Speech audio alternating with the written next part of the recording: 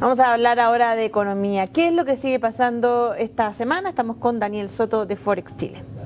¿Qué tal? Buenos días. Hola, Daniel. Hoy día tenemos rentabilidades positivas, bastante positivas. Estamos con Europa con un 1,5% de rentabilidad. Hace dos días atrás teníamos las mayores caídas del 2012.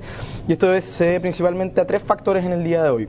Punto número uno, tenemos a Grecia que ya estaría eh, totalmente o casi ya eh, en, eh, poniéndose de acuerdo con los acreedores privados acerca de que el 75% de estos acreedores finalmente aceptarían la quita. Es decir, ¿saben qué? Yo no les puedo pagar a ustedes. ¿Cuántos de ustedes aceptan que no les pueda pagar? Si es que acepta el 50%, el otro 25% va a tener que aceptar de manera totalmente obligada, lo que provoca el llamado default desordenado, riesgo en los mercados, crisis sistémica, etcétera. Si es que acepta el 75% de los tenedores de bonos privados, estaríamos en condiciones para poder seguir adelante y al parecer estaríamos ya llegando a ese acuerdo, según lo informado por el gobierno de Grecia. Ese es el punto número uno, o sea que Grecia se estaría poniendo de acuerdo con sus acreedores privados. Punto número dos, tenemos que el Wall Street Journal nos habla de que podrían haber mayores inyecciones de liquidez por parte de la Reserva Federal. Recordemos que desde la crisis subprime hemos tenido dos inyecciones importantísimas, que son los llamados quantitative easing o relajamientos cuantitativos, en donde se han inyectado al mercado más de 1.4 trillones de dólares, lo que significa, esto en el fondo es una eh, política monetaria súper, mega expansiva para poder hacer que la economía siga andando. La Reserva Federal todavía no está cómoda con un 8,3% en el, desempleo, por lo tanto podría ser, lo que nos informa el diario, que podrían haber mayores medidas de liquidez en el futuro y esto le encanta a los mercados bursátiles, por lo tanto eso es otra razón por, por la cual estamos con números positivos ahora. Y la última es que la agencia Standard Poor's, está una de las tres agencias calificadoras de riesgo más importantes del mundo, la otra es Moody's, la otra es Fitch, son prácticamente un, monopolio, ahí hay nada más que son las tres las más importantes, habla de que Europa se estaría empezando a recuperar durante el 2013 totalmente contrario a lo que había dicho hace, digamos, meses atrás, en donde veía un futuro bastante negro para la zona, zona euro de acá hasta el 2020. Entonces, eso también se lo toma muy bien el mercado durante el día de hoy.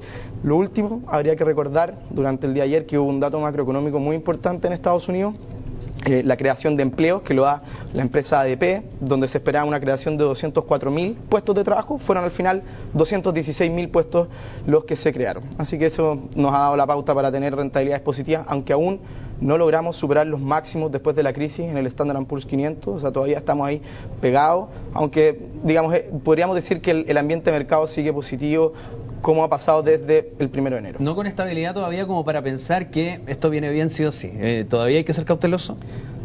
Mm, a ver, yo, eh, uno lee harto y hay, muchos catastrofistas y hay otros que están más positivos. Yo en realidad estaría un poco más positivo.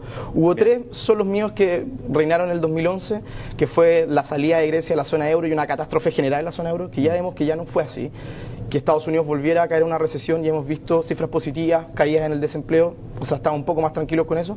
Y lo otro es que China cayera también en una desaceleración muy grande producto de su política monetaria contractiva, que tampoco hemos visto que ha sido así. Entonces, si ustedes me preguntan, con todos los riesgos que teníamos en el 2011, todas esas caídas, pues tenemos que seguir así de negativo. Yo en realidad pensaría que no y ya se han disipado la mayor cantidad de los riesgos. que aprende la lección, por lo menos China, además ya de, de, tener buenos números, quiere más números y habla ayer hablábamos sobre el tema de democracia y otras cosas más que permitan una expansión de mercado que consolide ese camino que, emprendieron hace un tiempo. Y en el caso de Europa yo me imagino que no van a permitir cosas como lo de Grecia otra vez, que integren a un nuevo miembro mostrando cualquier eh, antecedente maquillado, digamos. Yo creo que eh, por lo menos en el corto plazo, o no sé, los próximos 10 años van a tener que seguir fijándose en las cifras, digamos, de manera más, o menos fuerte.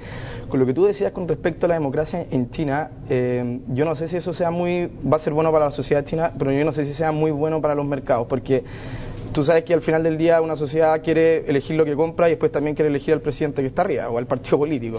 Eso al final del día te puede provocar unas revueltas más o menos sociales, o sea, sociales más o menos fuertes, lo que significaría tener baja en la producción, etcétera, etcétera, que son cosas que al mercado bursátil no le gusta, que no tiene nada que ver con lo que le gusta a la sociedad, ¿ok? Chuta, eso es como que el mercado versus la democracia. Bueno, vamos a analizar eso mañana, Daniel. Gracias. Chao. Chao.